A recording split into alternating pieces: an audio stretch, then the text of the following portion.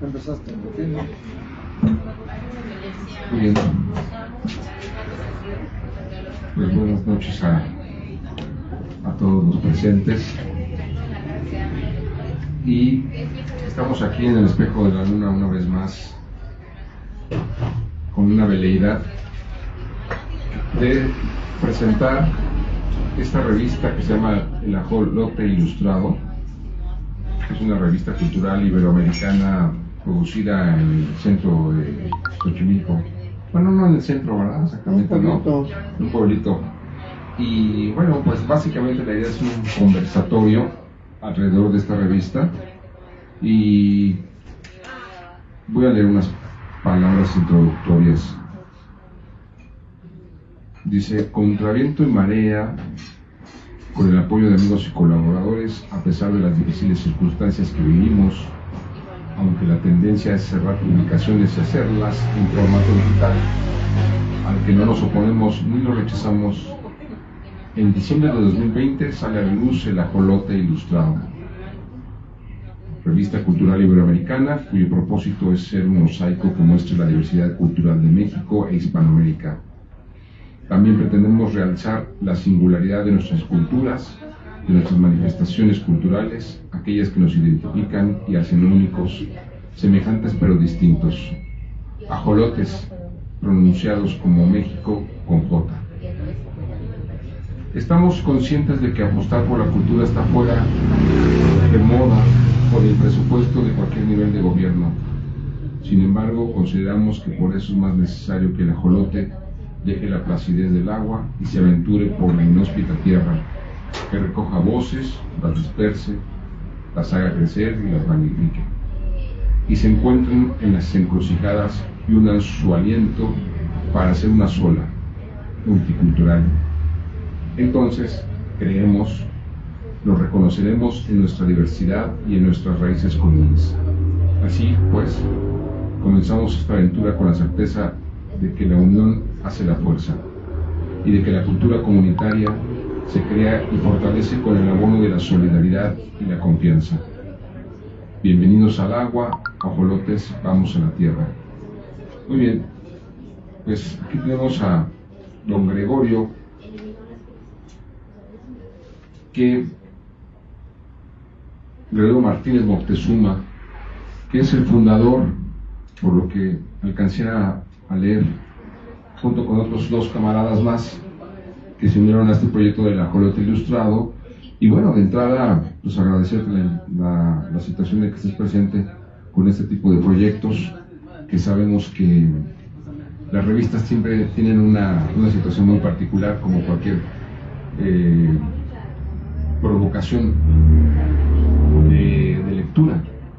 Eh, Gregorio, pues la, idea es básicamente que nos hables de la revista, la razón de, y antes de entrar de lleno a todo esto, les quiero leer un pequeño dato cultural, compartir. Pequeñito, pequeñito.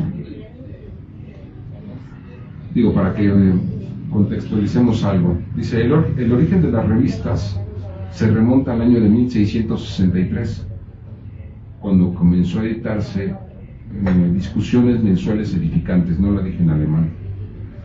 Es, esto sucedió en Alemania y posteriormente a ella se hicieron publicaciones en Francia, Italia e Inglaterra y diferentes tipos de revistas. Como dice la revista, el nombre etimológico, pues volver a ser visto, revisitar o releer o rever algo que nos conmovió o nos llamó la atención y dejarlo en una revista.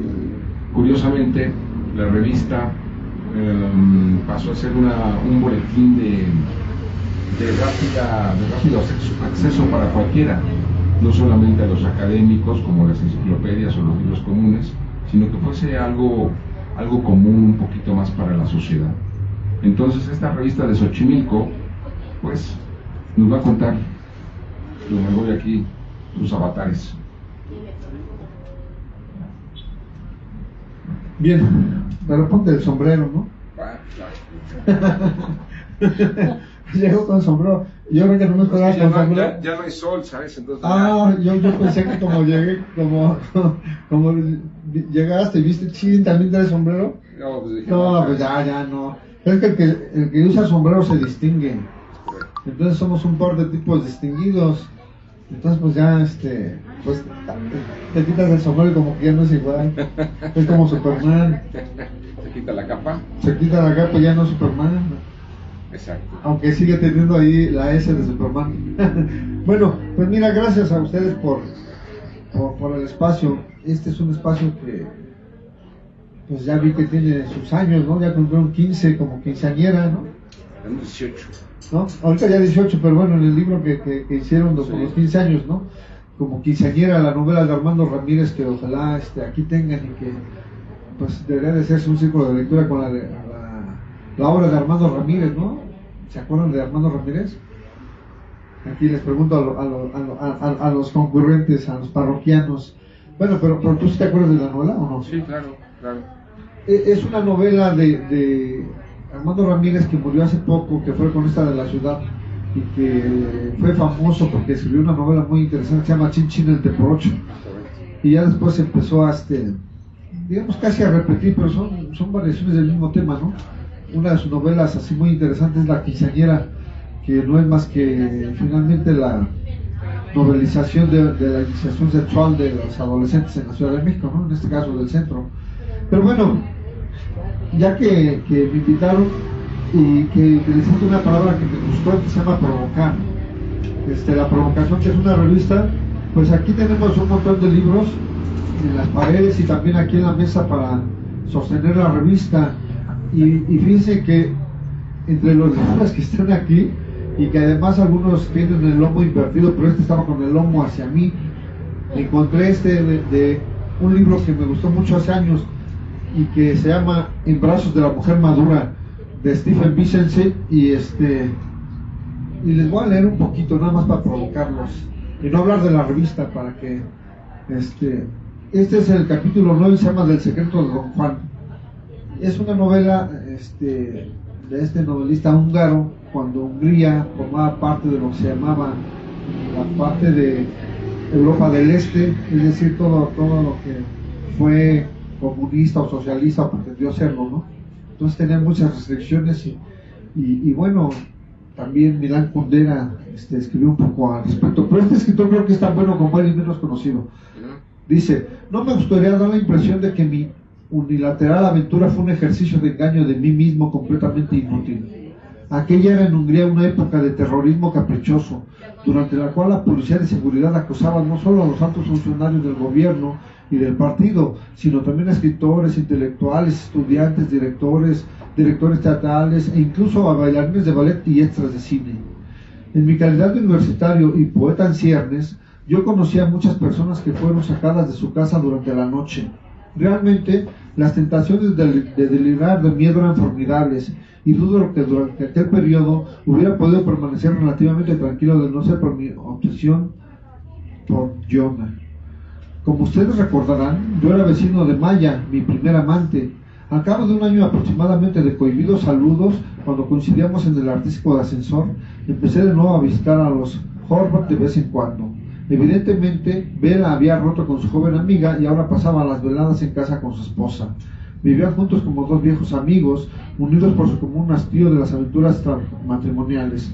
Maya estaba tan hermosa como siempre, pero tal vez menos vibrante y sin su sonrisa cálida e irónica de antaño. Vela, por el contrario, y ahí me voy a detener, a ver si animan a... a... Aquí la tienen, miren, en brazos de la mujer madura, hablando de, de quinceañera, que es una novela de iniciación sexual. Esta es una novela de iniciación sexual, pero en Europa, de un hombre culto, poeta, escritor. Entonces, para aquellos que tenemos alma bohemia y que no tenemos tanta fortuna con, con las aventuras extramaritales y, y hasta las maritales, bueno, es una novela que compensa todo eso. Realmente a mí me resultó entrañable. No, no vi el, el, el, año en que se imprimió, pero yo recuerdo que la leí en los 80, precisamente cuando yo estaba en la preparatoria, y influyó mucho en mí. Mira, aquí está, ah, ya hasta tiene una primera edición para aquellos que son amantes de las primeras ediciones. Sí, sí, sí. Esta es una primera edición. Sí, es una primera edición. Y el año es 1990. Digo, este, ese es un plus porque estoy seguro que hubo reimpresiones de esta novela que editó Grijalvo en una colección muy bonita que se llama Espejo de Tinta. Entonces, bueno, ahora sí, decíamos ayer, la revista, pues sí, fue fundada. Fíjate que, se llama La Jolote Ilustrado, pero nació en la Ciudad de México. Yo vivía en San Pedro de los, de los Pinos, pero siempre firmaba todos mis escritos como Tacubaya porque antiguamente la villa de Tacubaya comprendía desde San Miguel Chapultepec hasta prácticamente Miscoac, que era pueblo, y después venía Villa de San Ángel. Entonces por eso firmaba yo, este, se me hacía más barrio, pues, este, firmar Tacubaya que San Pedro de los Pinos, que es un barrio más, más, este, más bonito y también más artístico y lleno de escritores. Este, decían, no me acuerdo quién me dijo que había que presumir hace rato, y pues sí voy a presumir, ¿no? Mi vecino era Vicente Leñero, por ejemplo, ¿no? Este, o su, o su yerno de él, que era Jesús Ochoa, el actor, y, este, y teníamos ahí bailarines, pintores, bueno, Yasamuat, que es uno de los mejores pintores de México ahora, y que ha escrito, bueno, ha, pintado mucho de jazz, este, también es vecino de San Pedro de los Pinos, y en fin, hay muchos artistas. Bueno, yo vivía ahí y, tenía un amigo en Querétaro con el que tenemos intereses en común, sobre todo en la música tradicional y en la investigación de, las manifestaciones culturales de los pueblos de México. Y entonces decidimos fundar el Ajolote Ilustrado, fíjate. Y lo hicimos él en Querétaro, yo en la Ciudad de México, en Tacubaya, la vía de Tacubaya, y ahí nace el Ajolote. ¿Por qué? Sin ninguna necesidad de Xochimilco todavía. Bueno, nace porque como leíste tú o comentaste, cada vez hay menos revistas. O sea, si nosotros hacemos un ejercicio retrospectivo y pensamos qué revistas culturales había, este, pues yo creo que tú conociste La Mosca, ¿no? Sí, cómo no, claro. Bueno, por decirte algo, ¿no? Ya no existe. No, ya no existe. ¿Qué, otra revista te gusta? Ah, pues ya ven una que me gustaba mucho, se llamaba La Pusmoderna, mamá. Ah, ah, no. La posmoderna era de colección, sacaron creo que nada más cuatro o cinco ejemplares, una revistota largota, pero era lo más underground, yo creo hablando de música, de pintores, de arte, lo más underground, lo que no estaba en el mainstream, vamos a decir, cultural mexicano o de la Ciudad de México, y ahí encontrabas pues este, fotografías de desnudos muy de barrio, las primeras este, entrevistas que le hicieron a, a Café Tacuba, por ejemplo, eh, el café de nadie. Había, había, creo que había buenos artículos, había buenas intenciones, pero una revista destinada al fracaso también, como todas las buenas revistas, es decir, se volvió de culto. Como el ajolote. Sí, sí, porque no había producción económica que sostuviese una impresión de esa manera, era una revistota. Yo las tengo todavía, es más, se me está ocurriendo que deberíamos hacer una, mm, no sé si presentación o exhibición más que hablar sobre una exhibición de revistas, porque hay unas que son bellísimas, ¿eh? Bellísimas. Hay que hacer un conversatorio porque mucha gente no conoce esa época. Esa es una época cultural que ya está superada, cerrada. Eh, hacer una revista viene siendo algo impresa, física. Es realmente una empresa, pues podemos llamarle un nombre así medio, medio pomposo, ¿no? Es una onda retro ahora, ¿no?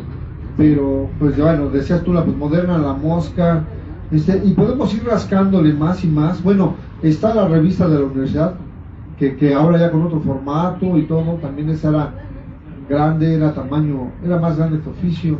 La Casa del Tiempo, bueno. La Casa del Tiempo, que bueno, todas esas ya están yendo a lo digital, aunque todavía la UNAM publicaba hace recién lo impreso, pero porque tiene recursos, ¿no? Este, tiene recursos destinados para ello pero ya no hay revistas así por iniciativa propia de, gente como nosotros que, decidimos hacer el ajolote ilustrado. Y bueno, ¿por qué preguntabas?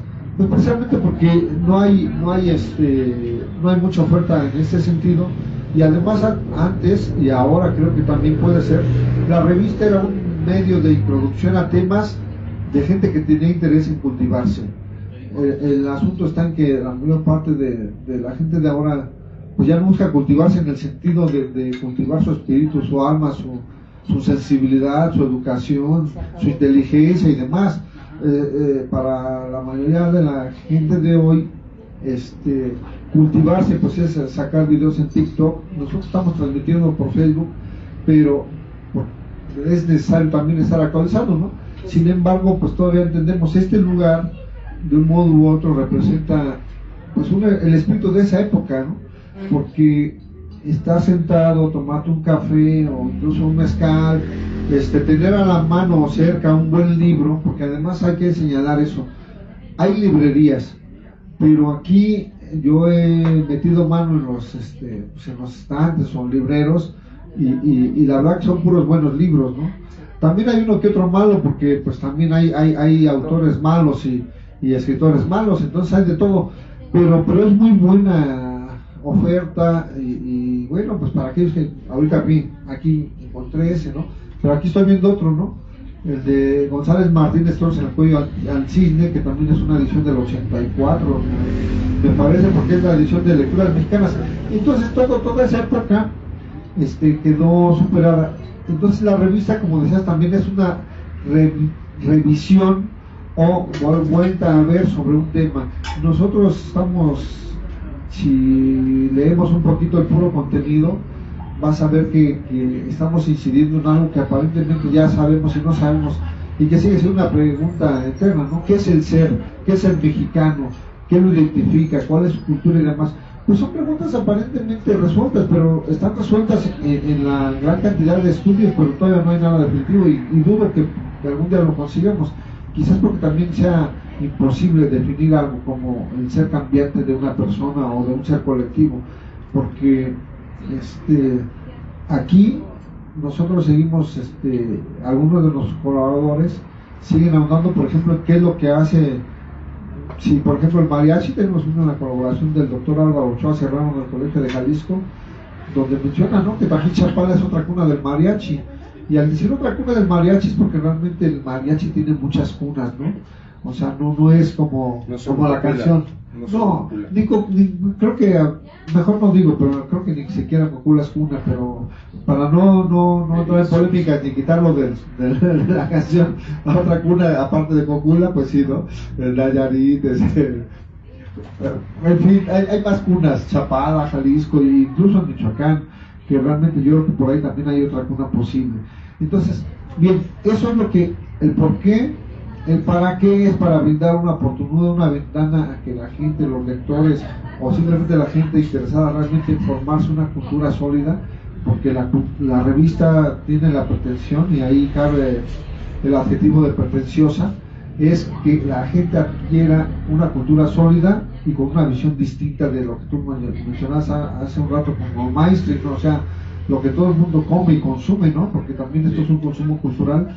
Y nosotros, pues, nos situamos en la otra orilla del, consumo. Realmente es una revista que posiblemente mucho de lo que alguien con mediana cultura este, se acerca allá y pues no va a encontrar cosas tan conocidas. O sea, no vamos a encontrar una reseña de, de Mario Vargas Llosa o otra de Carlos Fuentes o demás, ¿no?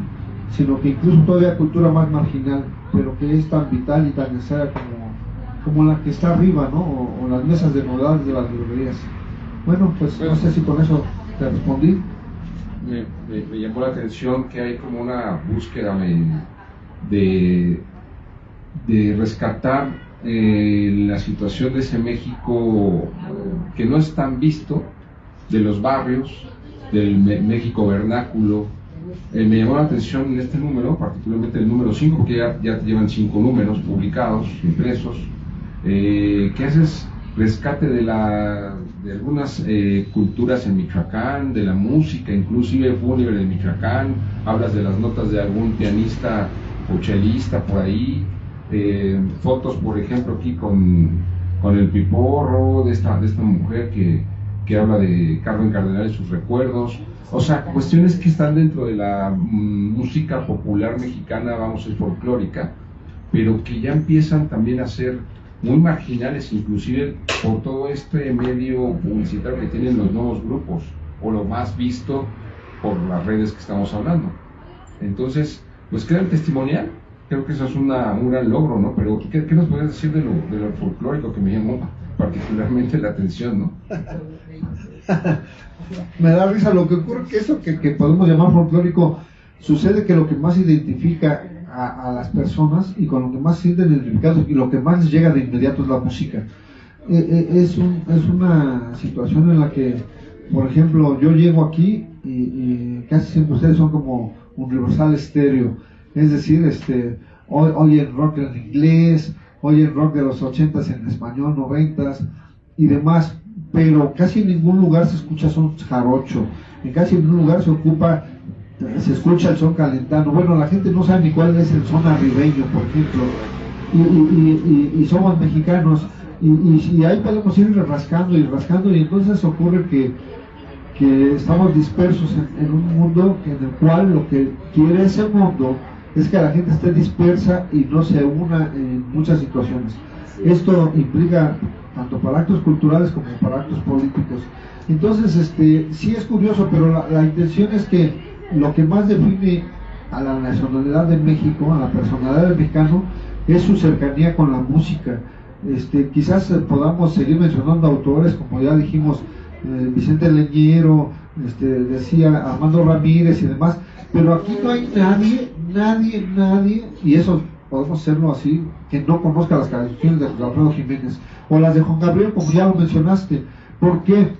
Porque finalmente la música no requiere nada, te subes a un micro y la estás oyendo. Es más, a veces, ahora ya no lo hacen, pero antes era una buena costumbre que en el metro ponían música ya no lo ponen, y, ponían precisamente música de este tipo, a veces ponían son jarocho, incluso a veces hasta jazz, jazz mexicano, y, decía uno, ay, qué buena onda que llegó alguien que tiene, pues, eh, aparte de, cierta sensibilidad cultura, pero bueno, ya no lo hacen.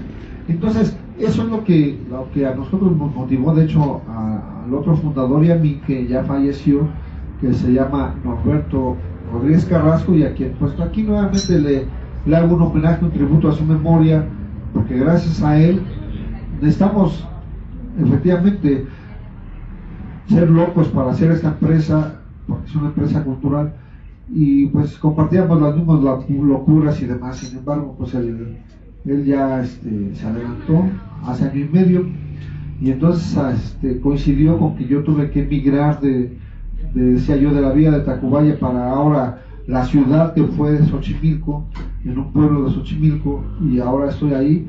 Y pues sí, el ajolote como que llegó a su terreno natural, pero también ahí me dicen, ay, por Xochimilco, pues no, porque antes todo, todo el Valle de México, todo lo que era la cuenca del Valle de México, todo, en todo eso había ajolotes. Y, incluso hay especies de ajolotes llamados achotes también en otras partes del país que sobreviven y que tienen características similares a los ajolotes. Entonces, lo digo no, de un modo, como yo encantado. Quizás ahora el ajolote llegó a su medio natural, que es Xochimilco, un lugar lleno de tradiciones, pero este, pero bueno, esa es la razón. Por eso en la parte de lo que se llama contraportada o posterior de la revista, viene, incluí ahí, este, pues sí, te decía yo que tiene una, una onda retro, porque ahí, por ejemplo, Carmen Cardenal, que muy poca gente también sabe quién es Carmen Cardenal, es una cantante de música ranchera, de, originaria de Chihuahua, así como lo fue Lucha Villa, que también es de Chihuahua. Y entonces este, ella, pues yo soy su seguidor, y entonces ahí estoy pendiente de sus publicaciones. Entonces me gustó, me gustaron estas donde una hace evocación de Juan Gabriel. Fíjate qué poquito tiene el tiempo que murió Juan Gabriel y ya la gente ya no lo tiene tan presente, aunque su música va a tardar años en que desaparezca del inconsciente colectivo. Nos guste o no, nos sintamos muy cultos y, ay no, pues yo puro, que, que Bob Marley, no, ahora que se pone la película de Bob Marley, yo de ahí de, del reggae para acá, no, toda la gente conoce alguna canción de Juan Gabriel y le gusta y, y cuando anda medio pedo con mezcal o sin mezcal, este, pone de Juan Gabriel, ¿no? Este, no hay más que ver el repertorio que tiene y todos, todos, todos tenemos cantado algunas de él. Ahí ella recuerda a Juan Gabriel, pero también recuerda al Piporro, y cada vez también menos gente se acuerda del Piporro, y el Piporro fue un, actor, cantante extraordinario que revolucionó en su momento el espectáculo en México y casi nadie lo tiene presente. Y otro, eh, aquí hay tres recuerdos de, de, Carmen Cardenal, y el otro que hace, que me parece fabuloso, es cuando habla de, de Antonio Aguilar, Vicente Fernández, que eh, ellos dos, a pesar de que podemos decir que Chente era un mamón y todo lo que quieran, finalmente creo que no hay ninguna mejor opción mejor que él para cantar de qué manera te olvido, ¿no? Por ejemplo. Y, y, qué decir de Antonio Aguilar, que quizás Antonio Aguilar sea el mejor cantante de corridos de caballos que ha dado México, ¿no? Un México que, que a pesar de lo que dices que ahora muy somos muy urbanos y muy fregones, no hay nada que nos siga gustando tanto como los caballos en, en muchas partes de este México que ya no se cree rural, siguen muy ligados a los que se llama jaripeo. La cultura del caballo está presente en México y no nada más en la cultura del caballo. Debemos recordar que sin el caballo no hubiera habido revolución mexicana, ¿no? Por ejemplo, nada más para mencionarte a Zapata y a, Villa, y, así podríamos ir hablando. Entonces, bueno, todo esto tiene así como intención de, de remover, este, de hacer reminiscencias de de ese inconsciente colectivo, quizás nosotros y que simplemente como que queremos como ajolotes mutilarnos parte de nuestro ser y, e implantarnos cosas que aunque no nos quedan muy bien, pero pues hay que, hay que, hay que adoptarlas, ¿no? Como, como te decía, en ese sentido, por lecturas, pues tienes que leer lo que quien ganó el premio Nobel, pero pues aunque nunca, o sea, la gente te decía del ser mexicano, pero terminamos sin seguimos denostando a Octavio Paz sin reconocer las grandes aportaciones que tuvo. Quizás como, pasó con Hugo Sánchez, ¿no? el único mexicano que ha triunfado de, de veras en el fútbol internacional por sus propios méritos, y lo mismo pasa con Octavio Paz. A Hugo Sánchez todo el mundo decía que era un mamón y que no lo hacía y demás. Pues yo, la verdad, no he visto que nadie haya hecho fútbol lo que él hizo, a pesar de que Rafa Márquez tuvo logros que no tuvo Hugo Sánchez, es otra época, otro jugador. Pero Octavio Paz el único mexicano que ha obtenido el premio Nobel, nos guste o no nos guste. O sea, ahí no pueden decir que, que el PRI, que metió la mano, que era un intelectual orgánico, todo lo que le meten de, tierra. O sea, Octavio Paz, en una palabra, como él mismo lo dice su libro, era un chingón, y en México no aceptamos a los que son chingones, nos dedicamos más bien a chingarlos. En fin, pero bueno, va por ahí. Bien, bueno, eh, volviendo a la, a la revista, eh, ¿cómo, ¿cómo logras... Eh, Ay, va, espérame. Ya me dio coraje, quiero un mezcal. Ah, dos. A mí no me dio coraje, pero yo sí me lo tomaría.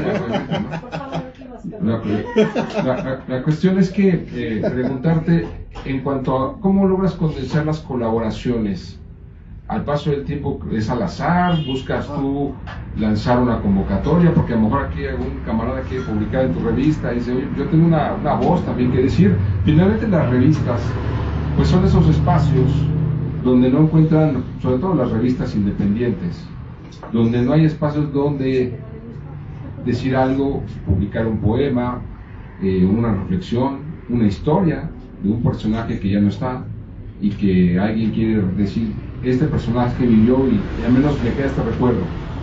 ¿Cómo, cómo logras condensar todo esto, esto en tu revista? Gracias. Fíjate que es buena pregunta. Ya hemos tenido presentaciones no de este número de la flote, como decías al inicio, es el número 5, que en realidad es el 6 porque empezamos con el número 0. Y este mencioné ya hace, hace un momento también que la fundé con Norberto Rodríguez Carrasco, que él también fue investigador, etnomusicólogo, él grabó muchos músicos mexicanos con Irene Vázquez Valle de la Fonoteca de Lina, entonces tenemos muchos intereses comunes y él tenía muchos amigos y yo también debo decir que tengo muchos amigos. Entonces a partir de ahí no hicimos una convocatoria abierta, debo decirlo, sino más bien fue una convocatoria cerrada. Es decir, que como ahora que ya te conozco y te digo, oye Alejandro, voy a sacar un nuevo número del ajolote. Si tienes algo, pues pásamelo. Pero para hacerte esa invitación, yo previamente yo ya sé que tú eres un escritor regular, bueno, de calidad, porque también, vuelvo a decir, son una parte hay un filtro. Hay un filtro previo. Eh, este, no es una publicación que, que eh, ponga cualquier colaboración. O sea, no publicas a tus cuates nada más. No publico solo a mis cuates, más muchos de mis cuates no están porque no escriben bien. Y, y, eso hace que... Como alguna fémina que pretendas tú, algunas Ah, alguna fémina que pretenda, pues aunque me ponga las pantaletas enfrente y, que, y, que, y que me dice que las quieres oler, pues no. Eh, olemos la tinta de los escritos y si los escritos tienen suficiente calidad, los publicamos. Esto suena muy mamón y muy, pero es realmente riguroso la selección que hacemos de los textos, como dije y lo vuelvo a decir, no hay más que ver, por ejemplo, mira, eh, suena también pretencioso, Norberto también tenía muchos amigos en América Latina, investigadores, tanto él como yo hemos estado en la investigación y tenemos amigos en, el extranjero, ¿no? Y entonces este, le pusimos ese nombre sin que suena tan pretencioso porque tenemos colaboraciones de escritores de, sobre todo de América Latina, y qué es lo que buscamos, ¿no? Aquí hay una que a mí me gusta muchísimo, que es de, de un escritor, investigador argentino, donde habla sobre el origen afromestizo del rock, precisamente en Argentina, ¿no? Este, en Argentina, pues yo creo que si les preguntáramos, de acuerdo con la Selección Nacional de Fútbol de Argentina, que es lo que más conocemos de Argentina, ya no voy a mencionar a Borges, Cortázar, o Silvino Campo, o, a Bioy y bla, bla, bla, no, no, no. De acuerdo con la Selección de Argentina, ¿cuándo han visto un negro en la Selección de Argentina? Aunque algunos morenos y menos morenos que yo les dicen el negro, ¿no? Pero de apodo, jugadores, pero no hay negros. Pero sin embargo, resulta que en Argentina, igual que en muchos países de América Latina, cuando llegó, pues los que ahora llaman los invasores, yo les digo los colonizadores o los conquistadores, porque generalmente todo tiene justificación histórica, incluso dialéctica. Bueno, y también en Argentina llegaron esclavos para trabajar en los campos, ¿no? De hecho, si recuerdan el Martín Fierro de José Hernández, algunos de los payadores, que bueno, los trovadores, que allá les llaman payadores, es un negro. Entonces, este, ahí hay, digamos, vestigios claramente. Aquí en México también tenemos un montón de negros. Eh, hablando de fútbol, seguramente se acuerdan de Eduardo Regis, que jugó en la selección mexicana. El negro, Durazo. Bueno, e, e, ese era, el negro Durazo era político y, y una historia negra de, de, la, de la Ciudad de México, ¿no? Incluso que, que, que, arrastró su fama hasta Guerrero, ¿no? Porque recordamos el Partenón. El Partenón ahí sigue. ¿Verdad? Ahí sigue como vestigio de esas. Yo ni la no, de esas, no, yo ni la volé es mexicano, pero es un negro del rock. Entonces en México sí hay negros y nos reconocemos que incluso ya hace, desde hace años se le puso la etiqueta de la tercera raíz, ¿no? Lo, lo español, lo indígena y lo negro. Pero en Argentina no pues aquí tenemos un artículo bien, bien, la muy importante de un investigador de una universidad de Buenos Aires, don Roberto Pablo Sirio, a quien le mando saludos, le voy a mandar el enlace de la grabación, y que él es quizá uno de nuestros más entusiastas colaboradores y que nos entrega una investigación de primer nivel o de primer punto. Entonces, este, los invito a que la lean y, y aparte de que, bueno, tiene esos niveles de... Sobre jazz, ¿no? No, sobre el rock argentino. Sobre el rock, sí, y bueno, y hace referencia efectivamente cómo algunos de esos músicos no nada más incidieron en, pues, por ejemplo, en los famosos de, Argentina, ¿no? Como voy a mencionar a Charlie García, sino en más. Entonces, sí, son, nos brindan y nos abren el panorama de la cultura popular de América Latina en la medida de lo posible. La revista solo tiene 32 páginas. Eh, eh, algunas me dijeron, oye, no la diseñan bien. Le dije, no, si está bien diseñada, lo que pasa es que metemos un chingo de texto, no hay un anuncio, casi no hay imágenes, porque es para lectores. Este, definitivamente quien no lea y no tenga el hábito de leer, no le va a interesar. Y, y, todo eso pues lo hacemos con... Mira, otra cosa que buscamos es no complacer. O sea, me decías hace un rato de que si publicamos los, los artículos de amigos y amigas, pues no, por eso te decía que casi no vas a encontrar tus amigos, porque sí tengo amigos que escriben muy bien, pero pues muchos de ellos ya también alguna vez me dijo uno de ellos, yo no hago nada, güey, si no me pagan. Entonces, bueno, pues está bien, yo no le pago a nadie la colaboración, sin embargo tenemos, y, y yo no lucro con la revista, aquí dijimos y, lo sostengo, ya lo había hablado yo con, tu compañera, de que pues, la revista cuesta 50 pesos, pero si alguien se la quiere llevar, pues si con tal de que se la lleve, se la va a bajar 10, 20 o cooperación voluntaria. Y eso lo hacemos constantemente. O sea, nos repetimos a los hechos. Benito Juárez, que fue el primer y único presidente indígena de México, tiene una frase que dice, mis dichos son mis hechos y mis hechos son mis dichos. Que además se le atribuye mucho que él plagió mucho a Salustio, que eh, él estudió leyes, ¿no? Entonces sabía latín, entonces le dio muchos latinos y por ejemplo su frase famosa también ha sido cuestionada, ¿no? La de respeto al derecho ajeno. Pero bueno, lo importante es que, que la dejó para la posteridad aquí en, en, México y en América. Entonces, bueno, sí es importante todo esto porque vamos precisamente, como lo señalaste tú también, contra marea. No vamos a, no buscamos complacer porque no es porque no estemos, podemos complacer en alguna medida, por supuesto, ¿no? Este, que si alguien quiere que publiquemos algo, responder algo, pues sí, vamos a buscar complacerlo. Lo que importa siempre también es el tono, ¿no? Eh, esta revista tiene que ser como el ajolote, eh, es algo de resistencia cultural, es algo que, que, que no vas a encontrar en ningún lado, es, es, igualmente sin que se compare a los niveles de la Moderna o de la Mosca o de algunas otras revistas emblemáticas que formaron a muchos lectores jóvenes de aquel tiempo, de esa época, este, sí pretende ser una, una revista que por lo menos se vuelva de consulta. Está, por ejemplo, te digo desde el inicio, le mando saludos también al doctor Álvaro Ochoa Serrano del Colegio de Michoacán.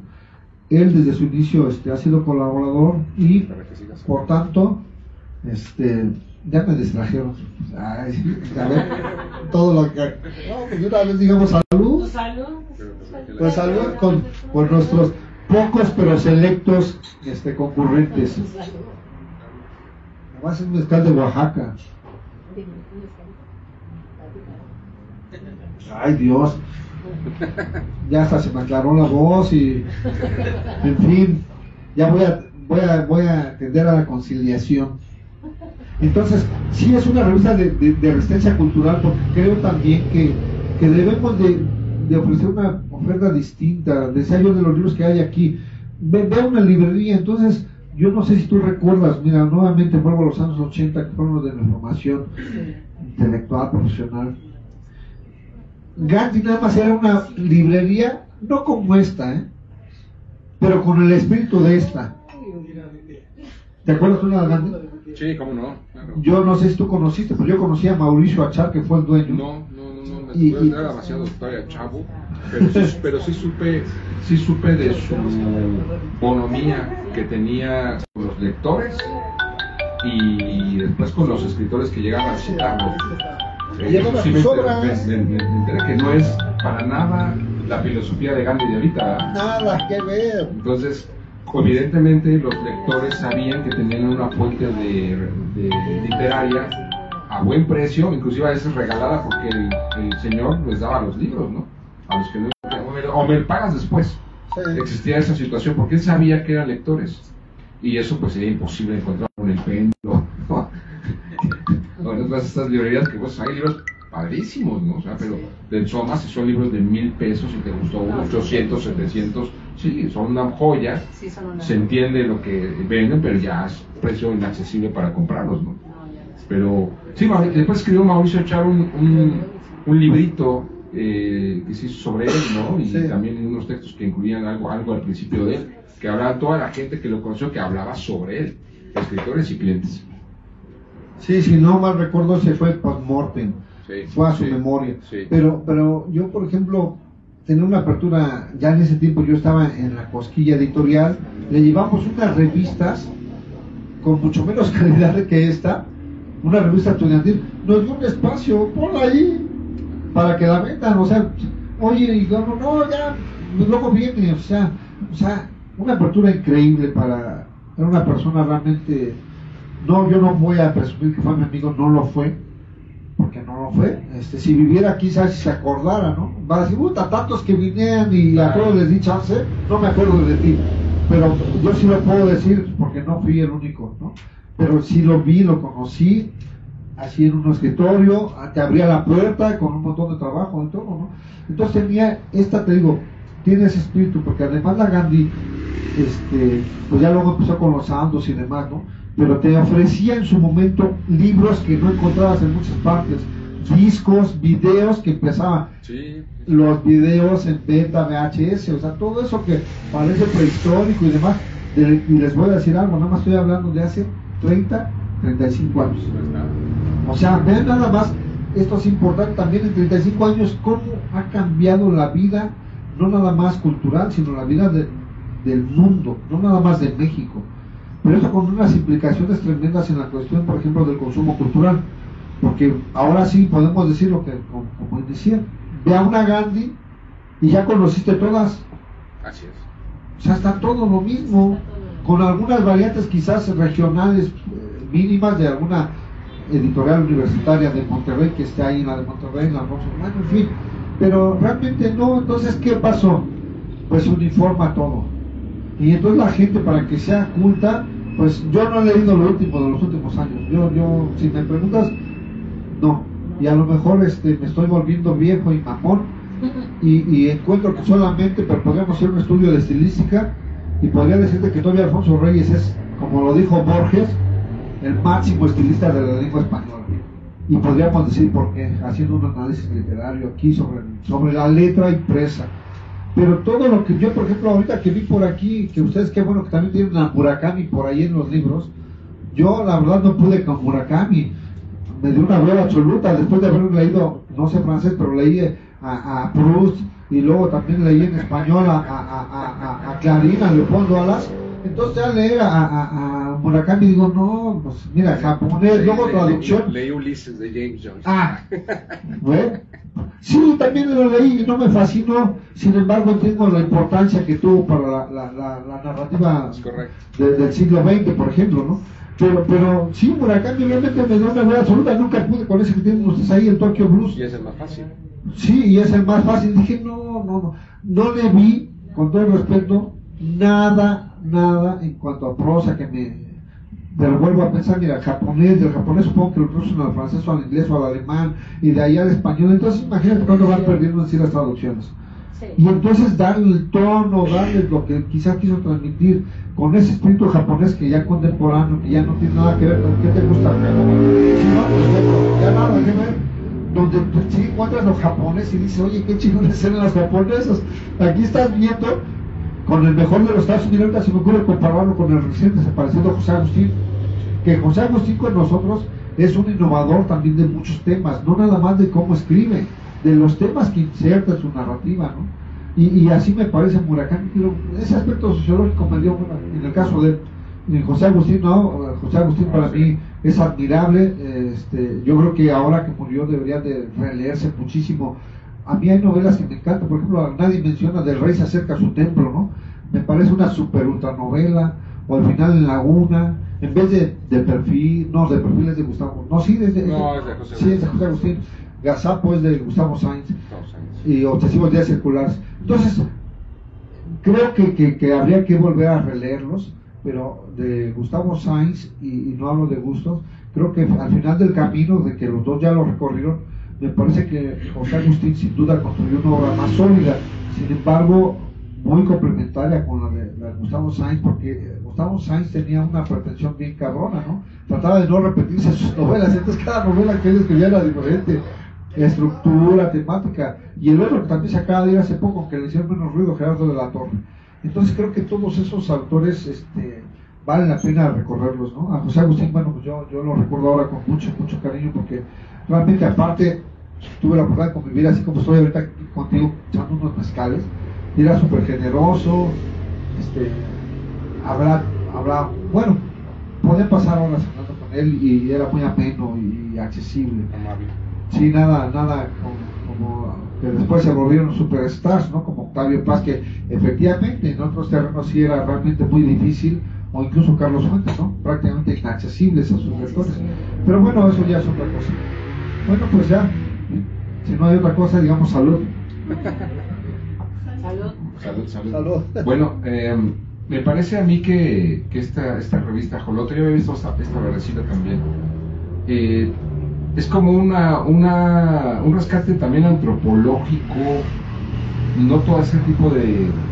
Todas las revistas tienen un aire muy particular, a pesar de que hay revistas, y bueno, solo mencionamos algunas de las tantas revistas que hay, ¿no? Porque Pero no nos sería- acordamos, ¿eh? yo no me acuerdo de otra. por, por regeneración que tantas veces eh, Martínez Rentería dirigió hasta que falleció y que creo que todavía sigue saliendo, eh, pues cuántos años, ¿no? Sí. O sea, no, hay, hay infinidad de revistas. Bueno, yo me voy a, por ejemplo, rock, la banda rockera, me gusta la banda rockera.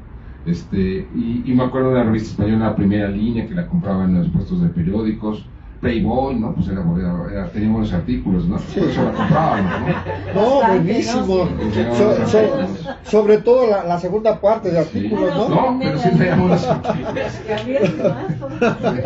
La que se desplegaba. Sí, sobre todo. llamaban la, la Playmate o Playmate. La Playmate, sí. Bueno, y, y sí hay revistas de culto, evidentemente, al paso del tiempo, tanto que pues estas revistas eh, mexicanas que de- de- que se publicaron en los años 20, 30, se han reeditado, después se reeditaron después y son de colección, ¿verdad? Sí. Son, son eh, recopilaciones de esas revistas de cultura mexicana, pues que hicieron las primeras vanguardias en este país. Entonces, ah, hay una tradición. Yo lo que siento, y, y ahorita que te decía de lo antropológico, que son temas um, que requieren como un guía, o a veces requieren más allá de la provocación. Es decir, la revista la podemos tener aquí. Yo puedo poner la revista allá, pero si no hay algo, una manita, una voz que acompañe para una nueva generación, y yo creo que es el gran reto, y por eso los espacios culturales resisten, por eso las revistas están desapareciendo también. Me enteraba hace poquito, que ahorita no que quería investigarlo, ya no me dio tiempo, eh, oían en radio, escuchaban en radio, una revista muy famosa de música, no la Rolling Stone, es algo similar. Sí, sí, sí, que ha, que ha resistido. Conecte. No, no, no, es una revista... Conecte también fue otra revista de época para los que nos gusta sí, sí, sí, pero esta revista es internacional, sí, no sé cómo se llama la revista, pero es una revista que desapareció apenas este año. Después de 30 años o 35, es a la par de Rolling Stone, de la más importante a nivel, nivel internacional, sobre todo para el mercado europeo y sobre el mercado gringo.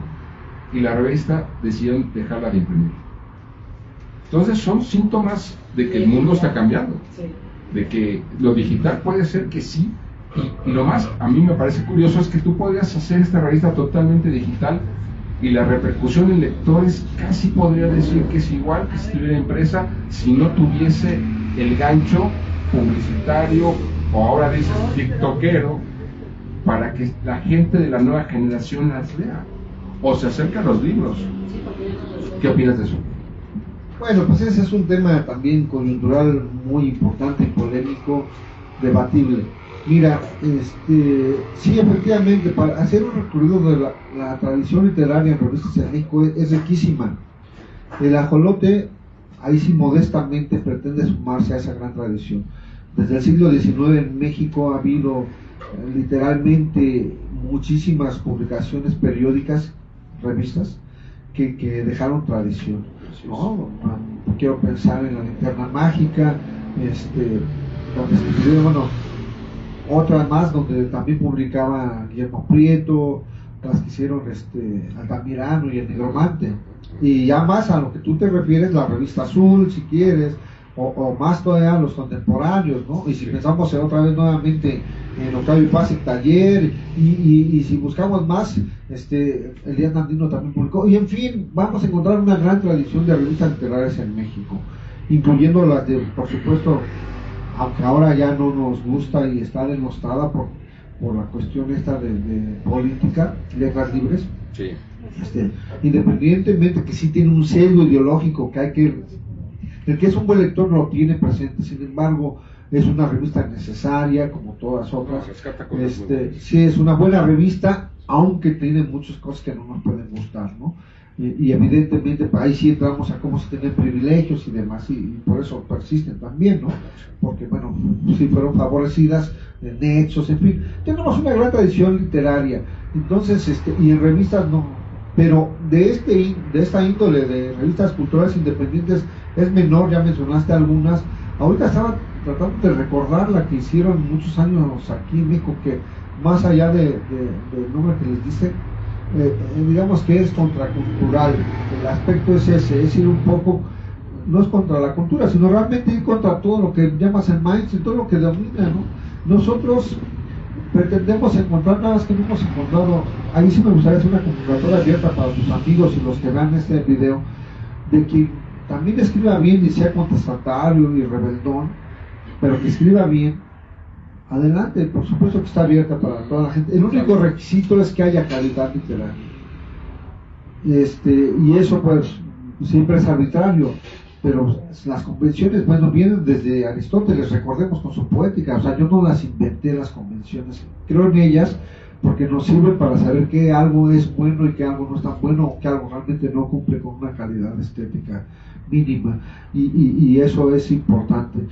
Este, yo recuerdo que hablando de esas cuestiones del compromiso del intelectual y demás, este, Mario Benedetti, que es un escritor también que, que pues ya después de muerto se, se está viendo cada vez menos o se conoce menos, pero que en su momento fue muy importante y que cada cosa que, que salía, uy, la gente lo celebraba y demás. A mí me parece un buen escritor, pero lo que más me gustaba de él en un libro que se llama eh, El compromiso del escritor, eh, decía algo así como eso, que, que lo más importante de un escritor era escribir bien y ya después ser revolucionario y ser todo lo que sea, ¿no?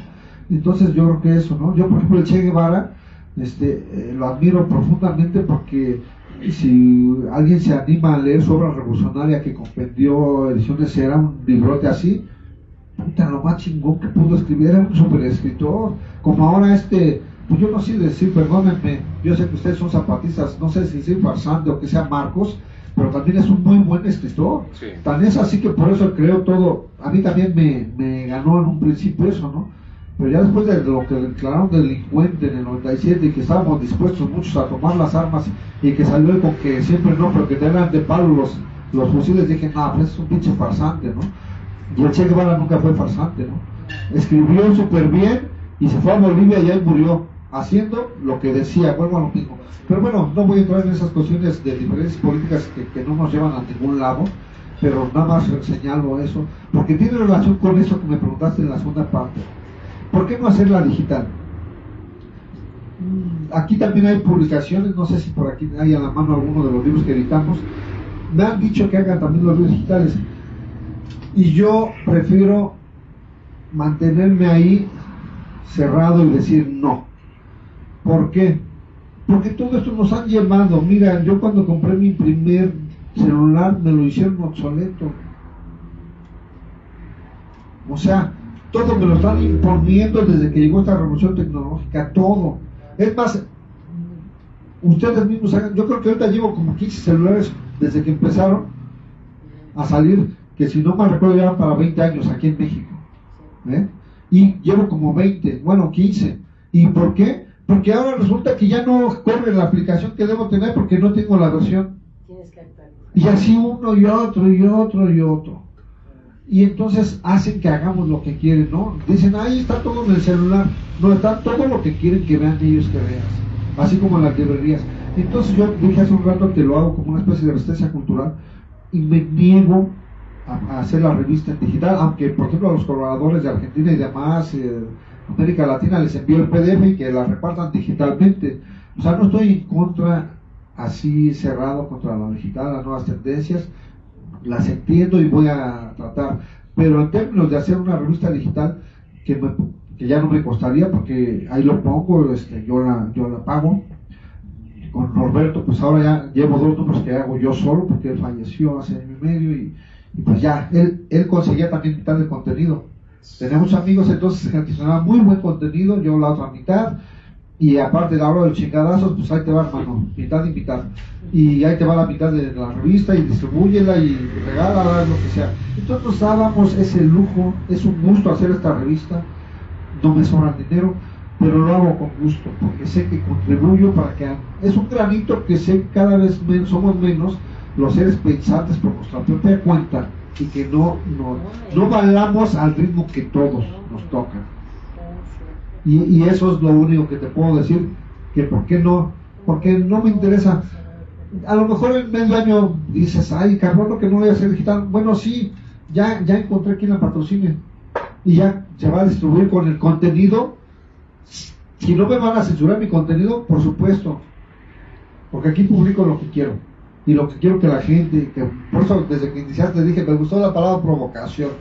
Si yo no provoco, no me parece que estoy cumpliendo mi labor, ese es mi compromiso, de provocar en la gente algo, que piense, que reaccione y que diga, no, por aquí quizás no está tan bien lo que nos dicen, que está bien, pero hay que aportar argumentos, hay que irnos a leer los libros, este, yo, ah, porque tampoco me gusta mucho eso de la lectura digital, porque sucede que todavía no se investiga el daño que implica el tener un celular siempre cerca, viendo una pantalla, escuchando este, audífonos, que yo todo eso también lo escucho y lo uso. Entonces no está todavía estudiado, no le importa a nadie que está aumentando el cáncer por todos lados, porque eso es radiación, o sea, no le importa nada todo eso. Y además lo más importante, la comprensión y adquisición o construcción del conocimiento. Es decir, tú en una pantalla, fíjate bien y haces ejercicio, yo uso el micro, el metro, el metrobús, puro transporte público, no tengo auto. La gente va súper en chinga, pero no sé ni cómo alcanzan a leer o a ver el Facebook así, pum, pum, pum, pum, pum, pum, ah, y ya se detienen en algo.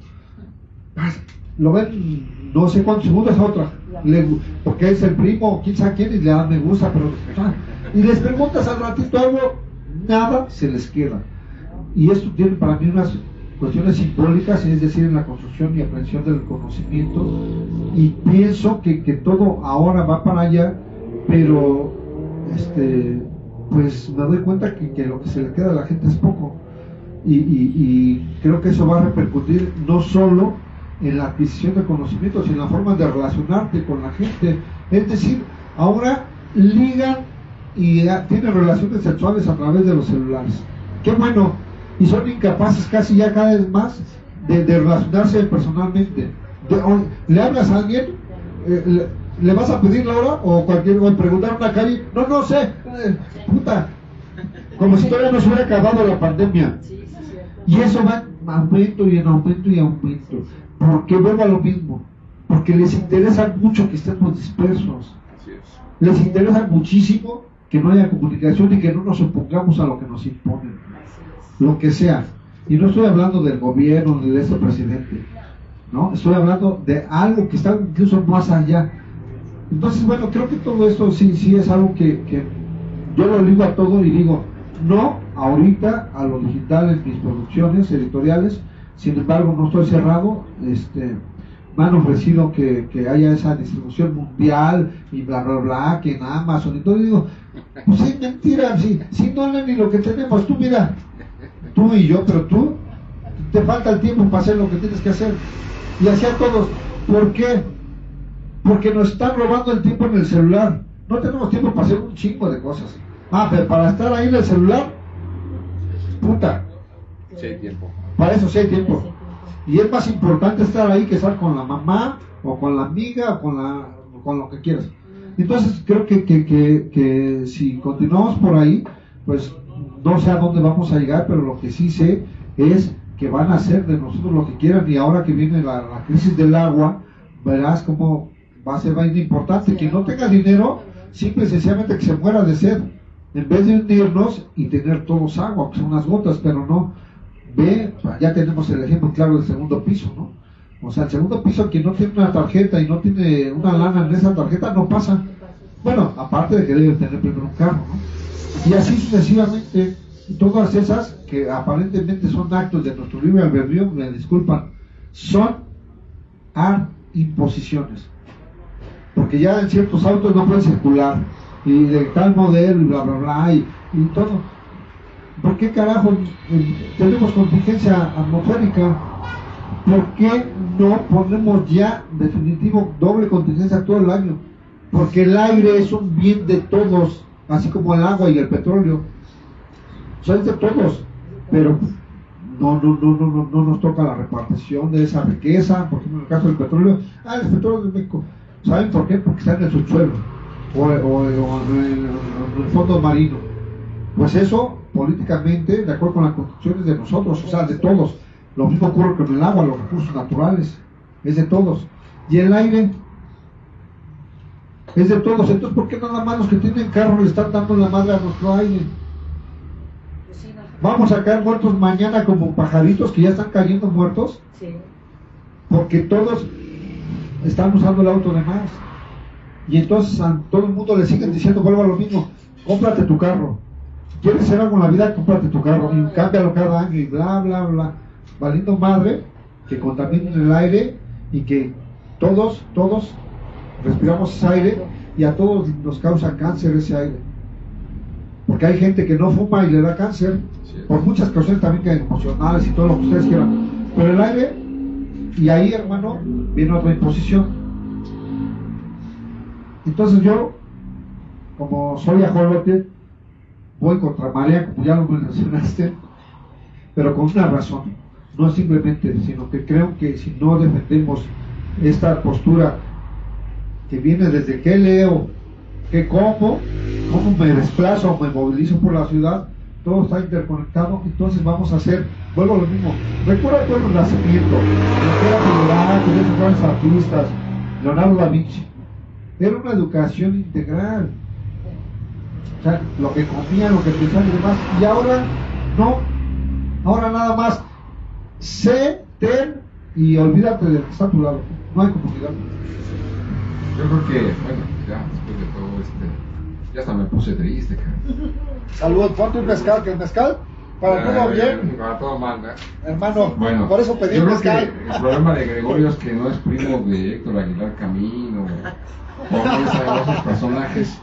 Yo creo que no estaría hablando de así como está hablando, pero bueno, eso es, un, es una suposición, ¿no? De No, no, no. Ok, aquí, aquí lo que ve, eh, bueno, para ir más o menos terminando, eh, siempre las revistas, bueno, como los espacios, y, se dice que la Revolución Francesa, por ejemplo, hablando de, querer cambiar el mundo en, esa época, los espacios como estos, las cafeterías, las mismas publicaciones, esas revistillas que se daban clandestinamente, eran los espacios donde se provocaba el, debate y la conversación. Lo que más se, está perdiendo, creo yo, hoy en día en- en- entre nosotros es la conversación. Es decir, las imágenes, las imágenes están venciendo nuestra posibilidad también de conversar, reflexionar y debatir o acordar. Eh, es sorprendente, yo creo que estamos viviendo una ruptura muy, muy particular mundial y no solamente los que tengan dinero, también los que están medio, yo creo que preparados con la astucia intelectual para decir el mundo va por este lado, no de este, son los que también pueden permitirse que sea el mundo de, de la sobrevivencia. Eh, para todo esto, eh, bueno, siempre los queremos invitar a los, a los eventos que tenemos como este, que nos da mucho gusto presentar esta revista del ajolote, ojalá que la puedan adquirir. Y, finalmente, pues que aquí vamos a tener yo esta revis- revistita, y si quieren colaborar también, pues está abierta la, la convocatoria, como, la dice, como lo dice Gregorio, y yo no sé si el público también, pues este, este selecto público, como dice Gregorio, quisieran agregar o preguntar algo sobre, sobre lo que estamos tratando esta, esta tarde-noche. Pues es muy interesante todo esto. Mi pregunta es, yo entiendo y respeto que no lo quieras hacer en forma digital, ¿no? Porque sí es cierto, va cambiando. Pero bueno, ¿qué opinas o qué, qué, qué se espera con la IA? Porque eso está sobrepasando y desgraciadamente mucha gente lo está mal utilizando. ¿Qué, qué se puede hacer al respecto para que las nuevas generaciones precisamente no pierdan todo esto que es tan valioso y tan importante? con la IA. que ya es de terror eso, ¿eh? de verdad. Bueno, pues este, Alejandro ya me pasó la, el micrófono, no se quiere meter en esas Honduras. E- Es una pregunta muy, como decía antes, pero Ferrer Cercón, ¿no? La pregunta del millón. Este, la verdad, eh, eh, es, es algo muy difícil de prever, de pronosticar. Lo que sí ahorita podemos ver, irnos una cuestión este, completamente de etiología, ¿no? como dicen, de las causas y los síntomas. La- las soluciones no las tenemos. Yo, yo sí me parece terrible, terrible, a un grado terrible, que voy a hablar de mí mismo, como a mi propio hijo o a mis propios nietos les interesa más el celular que sus padres. O sea, creo que, creo que no les importa si me caigo y, y me doy un madrazo y no me puedo levantar. Voltean, me ven y siguen en el celular y, y se les cae el celular, se les descomponen y están mal todo el tiempo que no tienen ese celular.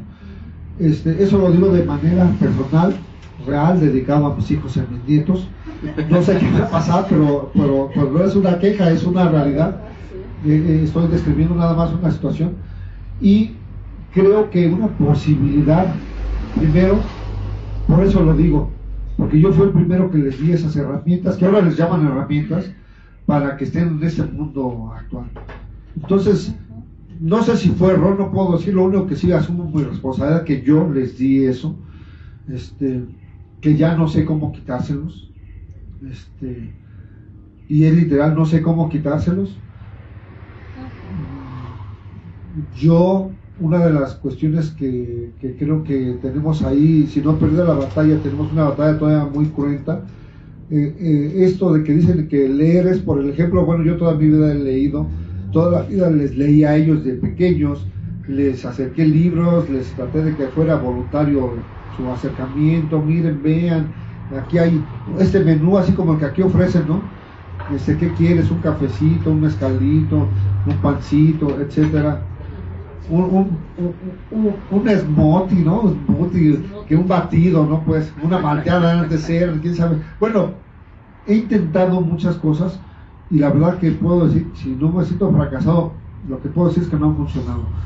Y, y, y, y sí me, me, me, deja realmente pasmado y, y con un dejo de, de temor el futuro, porque cuando digo eso, es si a mí, que se supone que me deben cierta fidelidad, y cuando digo fidelidad hablo en ese sentido de fidelio, de, del hijo, de lo que nos hace filios, del amor cercano, de lo sanguíneo. Esto lo traslado a lo social y lo vuelvo a decir. Eso es lo que quieren, eso es lo que está pasando. Si no les importa la propia familia, sean padre, hermanos y demás, pues no le importa lo social. Y esa es una realidad. Por eso digo que yo ya llegué a esa, claro, pero por supuesto, convicción de que es una política para que causen esto que están causando. Quizás con la, con la clara intención de que, de que terminemos matándonos entre nosotros, porque lo que ocurre es eso, ¿no? Vemos que matan aquí, allá, en México. Se, en México es un país, quizás el de los mayores del mundo, de mayor violencia y de asesinatos. Mueren miles de personas diario y no hacemos nada por detenerlo. Nada. Si aquí afuera pasa el micro y aplasta a alguien o a un motociclista que también son temerarios, no nos importa. Incluso no va a ser nada raro que alguien deje el celular y diga, ah, qué bueno, son una plaga, ya uno menos, pum, y sigue su celular.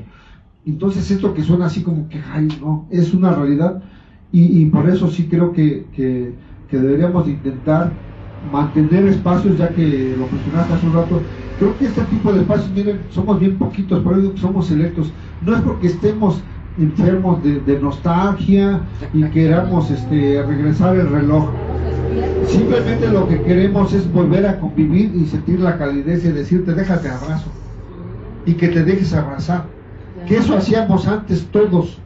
No era lo más común del mundo. Y ahora no puedes saludar a nada porque te dan todas una serie de circunstancias que dicen acoso, aparte que este cabrón me diga pinche puto y, y bla, bla, bla, bla. Antes era lo más natural del mundo y no nos decíamos eso.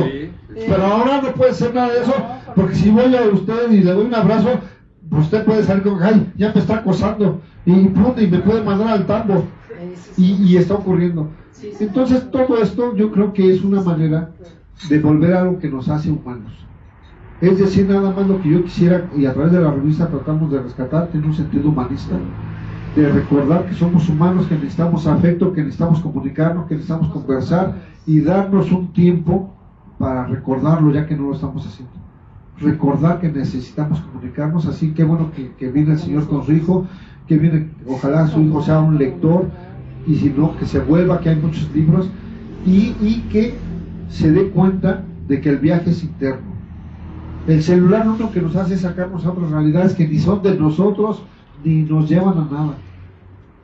Que es algo que antes, antes, y cuando digo antes, estoy hablando de 30 años, antes nos planteábamos qué quiero ser en la vida. Ahora los, los jóvenes de verdad ni siquiera se postulan qué quieren ser en su vida. No sé, o sea, yo les he preguntado, les digo, oye, no, no sé, no me interesa, no quiero.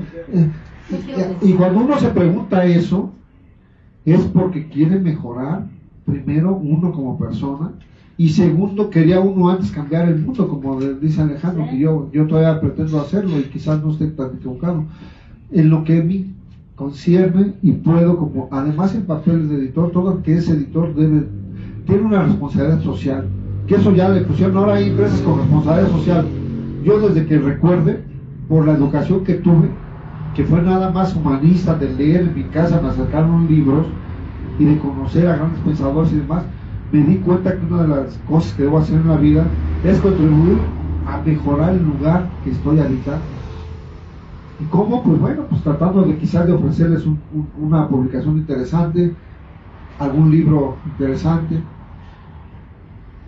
No puede ser, o sea, lo digital tiene 10 años en auge. Le voy a decir algo, el libro, sin el libro, no existiría esta civilización montada en lo digital ahora y nada más entronizada en lo digital el libro vino a transformar la historia del mundo y no a partir de la imprenta en el siglo XIV, desde mucho antes cuando se hacían de manera manual. Ajá.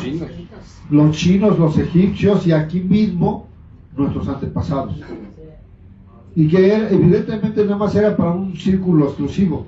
Sí, pero eran tan sabios que antes de que llegaran los españoles tuvimos la mejor ciudad del mundo, la más hermosa. Se bañaban diario, no sabían nada de sanidad, pero se bañaban diario.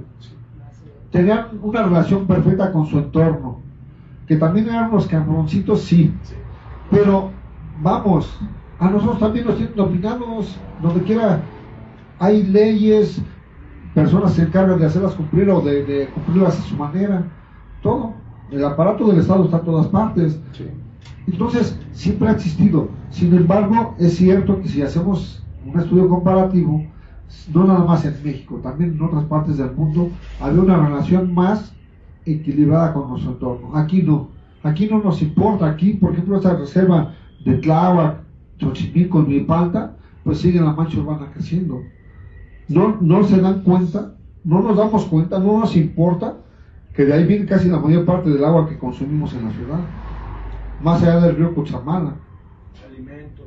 alimentos, todo. Ah, no, pues debemos de preservarla. Ah, no, pues parece ser que queremos que nos lleve el tren más rápido. Vamos a talar árboles.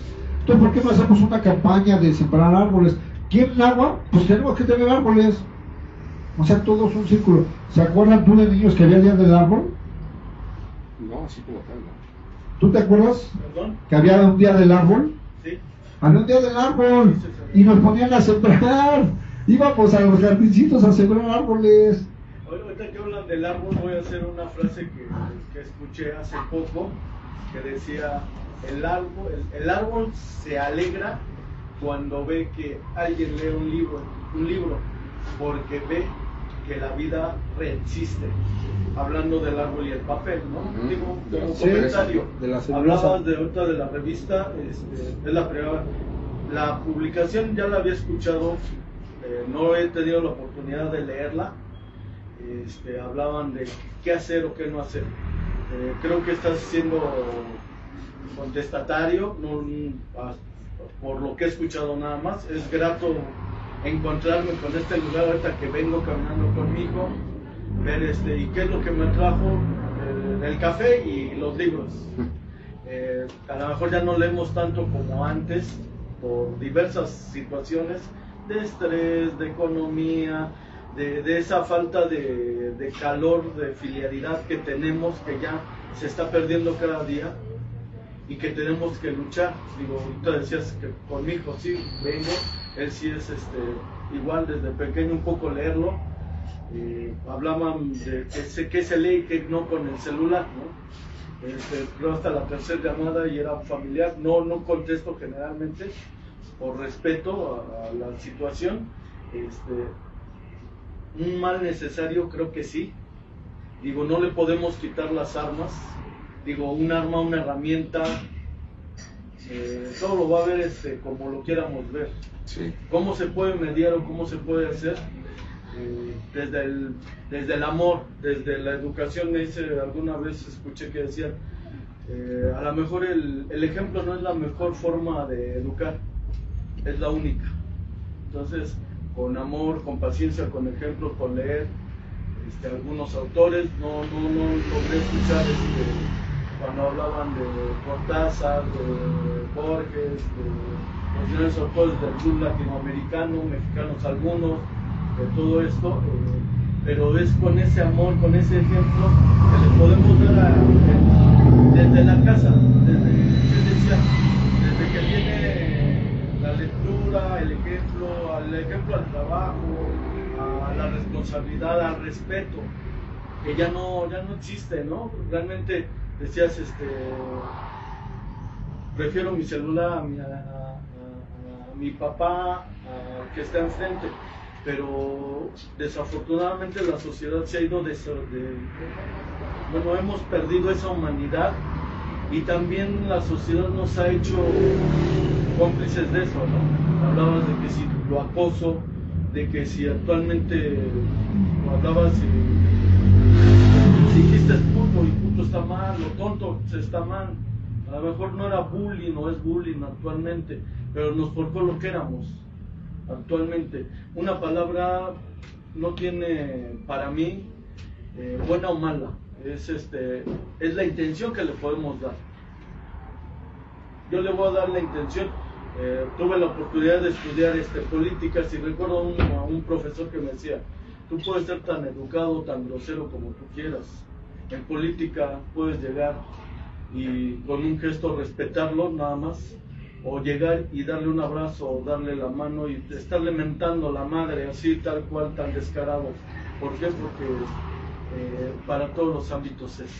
Eh, la, revista ahorita me la pienso llevar, digo, hablabas del Roda argentino, él está metido en eso, casualidades, causalidades, no lo sé, eh, algo que va a leer, que le va a interesar y qué podemos hacer, ser contestatarios, ser este, ser más humanos, buscar ese, eso que a lo, a lo mejor los más grandes, hablando respecto a él, al caballero que está aquí, este, que nos enseñaron, darles el ejemplo. ¿Qué es bueno, qué es malo? Eso sí es un poquito más complicado. Este, más bien tratar de mediar las, todas las herramientas que podamos tener a su alcance para que ellos en su libre albedrío y en su libre conciencia puedan escoger de la mejor manera. Felicidades, este, pocas revistas, como bien dices, cada día se vienen, se vienen reduciendo por la era digital, por costos, por malas este, costumbres, este, espacios de, de cafés, de debate, de club de lectura, de trova, pero fuerza para ustedes que siguen en ello y, y larga vida, ¿no? lo que cabe. Bueno, muchas gracias. Eh, sus palabras son alentadoras en ese sentido y bueno, pues precisamente eh, apro- aprovechamos ahorita este momento también para invitarlos a las próximas presentaciones. El 16 de marzo tenemos la presentación de un libro que acaba de salir, que está por ahí, que se llama Los demonios de la verdad, es un libro de poemas eh, con, con muchas situaciones que hablan sobre la música precisamente, sobre, sobre la cuestión de la- del, del- del trago, también de la- del amor y el desamor, varios temas ahí que vienen en ese libro nada más. Este, pueden abrirlo para, para verlo. Sí. El día 30 tenemos otra, otra presentación que son precisamente eh, hablando en estos tenores de, de nuevas generaciones, eh, de jóvenes que están haciendo algo, cortometrajes cortometrajes elaborados por chavos también eh, con temas interesantes, lugares de la Ciudad de México y, e historias ah, ahí ocultas de alguna manera. Entonces, del centro histórico, esos espacios que no, que no se conocen de alguna manera por todo el mundo, ellos como jóvenes cineastas están haciendo cosas muy, muy interesantes. Entonces vamos a tener la proyección de come- cortometrajes el día 30 y la presentación de este libro el, y el día 16. Eh, eh, no sé si quieres agregar algo tú más. Pues ya nada para cerrar, este, les quiero agradecer nuevamente el espacio. Quiero mencionar que aquí está la revista, también algunos títulos, porque no solamente hacemos la revista, somos una editorial que se llama Agoscondea Ediciones, pueden conocernos en Facebook. Publicamos también temas que no son tan, como está Alejandro del Maestro. Eh, aquí la revista buscamos darle diversidad, por ejemplo, tenemos artículos de música fúnebre de Guerrero, una música que, que es buenísima, que todavía persiste y que viene de siglos atrás, no de años, de siglos atrás. Le hacemos un homenaje a un amigo que también le mando saludos, Virgilio Bermúdez Núñez, un hombre que cumplió 80 años, que es de Cirándaro, Cirándaro ahora de los Chávez, donde nació el doctor Ignacio Chávez, la quinencia. México tuvo el gran cardiólogo, el mejor cardiólogo del mundo, fue mexicano y era de Cirándaro de los Chávez Guerrero, de la Tierra Caliente. Aquí hacemos un homenaje a uno de los hombres que lo ha promovido mucho. En fin, y también quiero decir que, que traigo ahí alguna playera de- como esta que traigo aquí del ajolote ilustrado, por si alguien quiere ponerse en la playera del ajolote, pues ahí, traigo alguna. Y los invito, ojalá que a este joven que está aquí con nosotros y que tiene estas inquietudes por el horror argentino, este, tenemos un canal en YouTube que vamos aquí a compartir y una vez, no sé si Alejandro lo acepte, pero esta, esta grabación la voy a tomar de su sitio y la voy a poner en el canal de la Pelota Ilustrado y, y, si acepta, esto no, eso lo voy a hacer, no le pedí permiso, como ven lo voy a hacer, pero para la siguiente si quiere, ahí sí le voy a pedir permiso si quieres y no puedo asistir, aunque me interesa mucho la de los documentales porque me encanta el cine, voy a tratar de venir yo mismo grabar, pero si no, y, y si transmiten y graban, este, el canal de la Jolota Ilustrado está abierto, los invito a que lo conozcan, se suscriban. Les voy a decir algo, así como esta revista, el canal es único en México, con un contenido, no es mejor, pero contenido que no van a ver en ningún lado.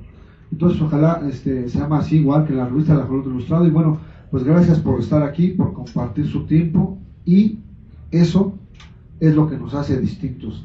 El que al salirnos del tiempo que nos imponen, nos hace nuevamente ser ajolotes o sea humanos. Gracias. Pues, muchas gracias, muchas gracias, Gregorio. Y bueno, pues como, bien saben, aquí está la revista. Finalmente, recordemos que esta, estos espacios de escritura, como una revista o un libro, son espacios de resistencia. Gracias. Pues.